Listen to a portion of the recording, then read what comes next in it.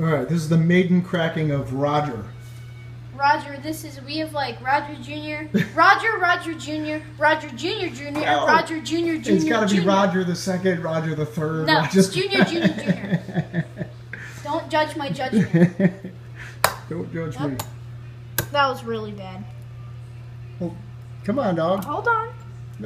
It's happening. put another crack into it. All right, hold on. Holy moly. Yeah, I know. I'm This usually. is, this is off-grid kid here.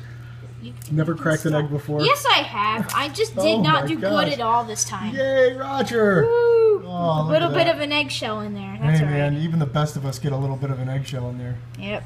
Oh, that is our first Chicken food, our egg. first chicken egg. It's pretty small. How awesome is that? Well, that's all right, man. I, I feel, I feel like we are producing food. Yeah. Accomplished. nice job. All right, we'll we'll use a fork and get that shell out. Gotta throw a little bit out for him for a second. Come on, chickens. Come on. You know what's happening now. And crush it up for Yeah. him. Now we're feeding their bounty back to them.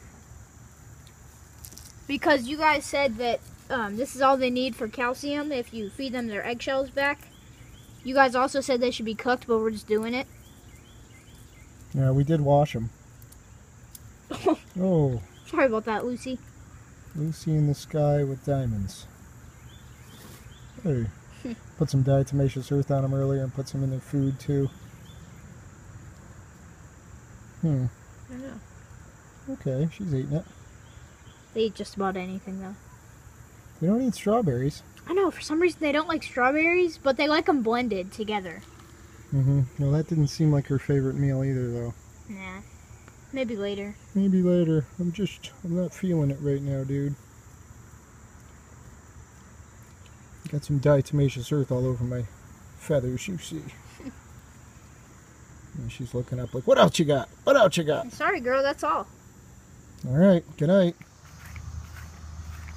Well, going through the nightly ritual, they only uh, have gotten into their coop on their own like three nights in a row and have since then stopped. There they are doing their thing. They get up in the tree and they want to roost there all night, but we can't have that. We want them in the coop where it's safe. Time to get you in, girls. What are you doing? Hmm. What are you doing? I'm being a beekeeper Why are you wearing that? because it's fun. You're a weirdo.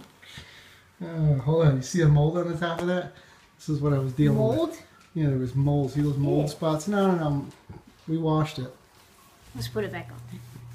You're so cool looking. I am cool. Coolest kid in town. Oh man, you got problems. I know. So, Apple doesn't fall fall far from the tree. Wait, wait, you want to try that again? Yeah, yeah, yeah, yeah, yeah. Let's try that again. Apple doesn't fall far from the tree. That's for sure. Bam! Tongue twister. That's for sure. Okay, so the first speaker magnet came off well. Let's just say it wasn't very successful and broke apart.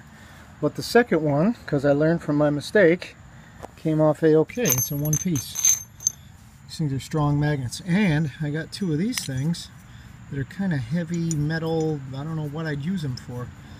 Um, I think it's some type of feet, like a foot for something. Maybe a doorknob. I don't know. Heck, it could just be a paperweight. But I think I'm going to hold on to these two. I'm not sure why. I guess it's the uh, prepper in me, the junk man. I want to keep stuff because I don't know what I might use it for. And the truth is, I'll probably trip over it for the next three years, and then when I finally do come across something that I go, oh, that'd be perfect, I won't be able to find them. You guys know the deal. Thanks for giving me your opinions on this, and I like the idea of using it for a tool hanger. That's kind of a neat idea, so thank you guys.